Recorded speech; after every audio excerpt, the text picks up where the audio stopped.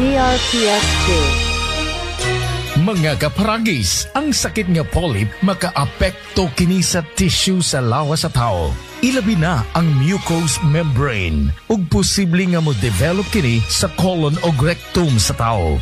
Delikado kini nga sakit mga kaparagis. Si Tata Turno nga taga Dipolog City, Zamboanga del Norte, usa sa mga makatestimonya kaysa unang pagdumar niya sa 20 lang ka kapsula sa Paragis Bila-Bila DRPS2. Herbal Capsule ni alibyo kini ug maayo na ang iyang pamati.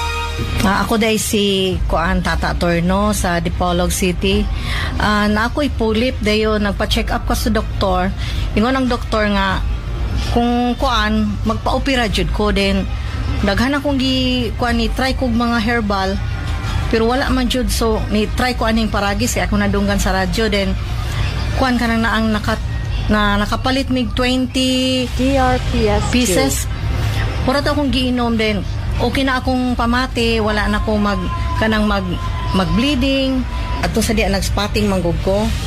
Sige, kuan ka nang mawala din mo kalit na pud ukan ginagmay ra ba din nakulbaan ako. So ni try ko. Karon pag uban na akong inom sa 20 ka buok, nawala naman ang akong spotting.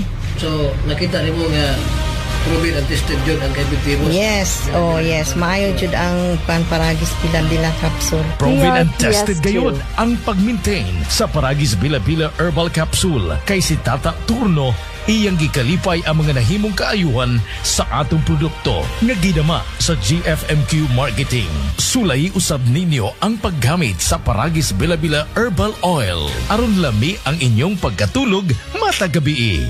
Kaysa Paragis Bila-Bila, dili na ka, mag-agwanta pa.